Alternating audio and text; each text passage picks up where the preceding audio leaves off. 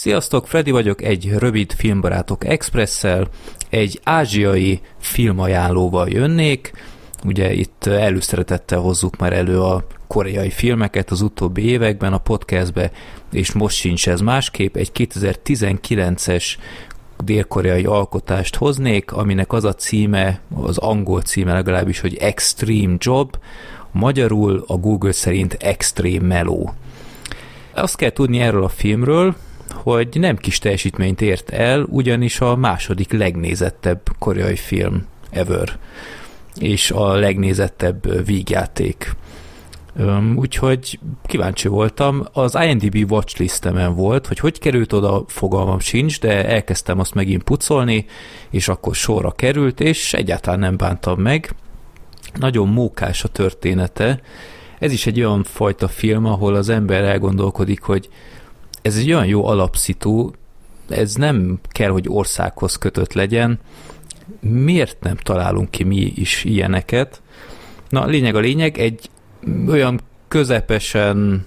hatékony rendőr csapatról van szó, azt hiszem ötfős társaság,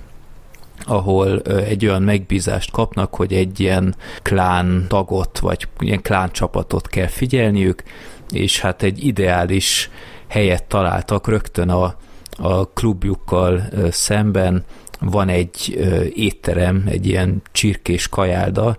ahol senki nincs, és ott lógnak egész nap, és onnan figyelik a helyet, és közel kénytelnek egész nap csirkét zabálni, hogy legyen valami alibiük, de olyannyira nincs semmi kuncsaft rajtuk kívül, hogy a, a tulaj egyik nap jön, hogy srácok, az utolsó kör az enyém, mert holnap már nem nyitom ki a boltot, mert egyszerűen nem éri meg,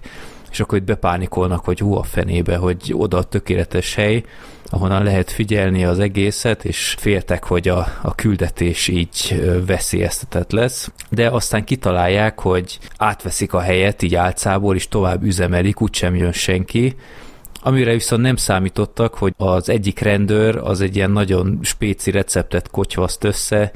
és olyan ellenállhatatlanul finom lesz a csirkéjük, hogy az egész város oda jár már.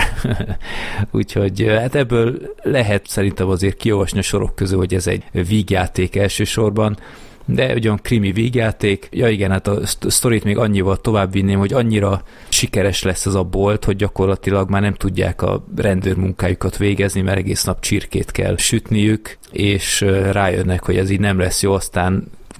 azután meg az lesz a küldetésük, hogy meg kell szabadulni ettől a sok vendégtől. Úgyhogy egy nagyon muris alapötlet, szerintem elég sok mindent ki is hoztak belőle, elég nyugatias a humora szerintem, tehát annyira nem ázsiai,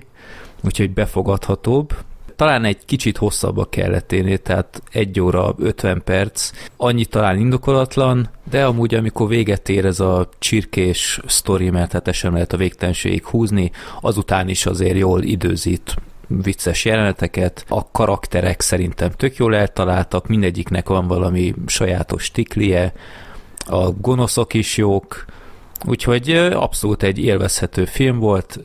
nem hiszem, hogy túlságosan ismert, annak ellenére, hogy olyan sikeres volt ott,